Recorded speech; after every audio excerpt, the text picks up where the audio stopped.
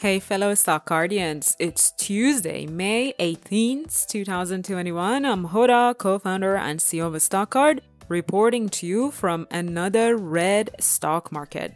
I looked into why the stock market indices act like a yo yo, researched why Lordstown stock jumped, and discussed whether it's time to buy the dip in Axon Enterprise. The stock market indices finished the day in the red once again, despite rallying at the beginning of the trading hours. The market's movements remind me of a yo yo. It just bounces up and down without any ultimate direction. Investors are not sure what to do with inflation fears, but the Fed has kept its favorable policies and no one can decide where to go from here. Yo yo up, yo yo down yo yo up, and so on. From the winners list of the day, I noticed electric truck maker Lordstown RIDE was up more than 19%. We have seen EVs taking a beating recently, so I got curious that the stock was up that much. It seems the stock is up over the announcement of a week long show and tell event. One of the challenges Lordstown faced in the past was that the product wasn't still out. The company now plans to showcase how it is ready to get the world's first all electric commercial pickup truck out in September.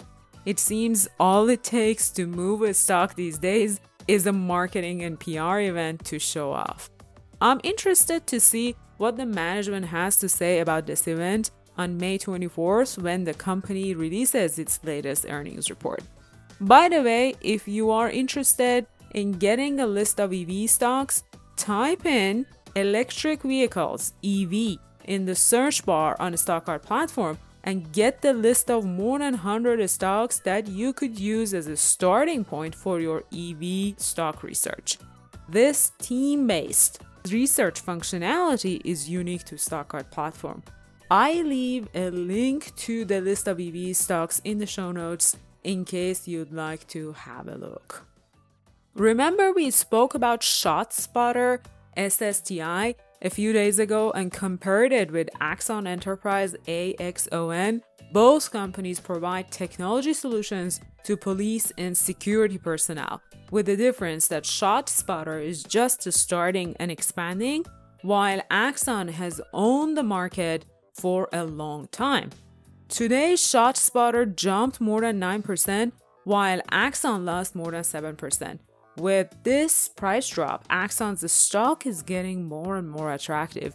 Both the stocks are worthy a spot on your watch list due to a growing demand for a technology enabled police force.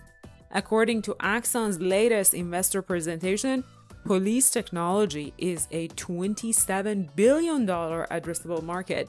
The vision that Axon paints for the future is quite compelling. By 2023, Taser, Axon's initial product, will obsolete the bullet. AI will eliminate paperwork for police. Cloud and IoT will transform communications for police force and Axon will reimagine public safety. That's a vision I like to be a part of.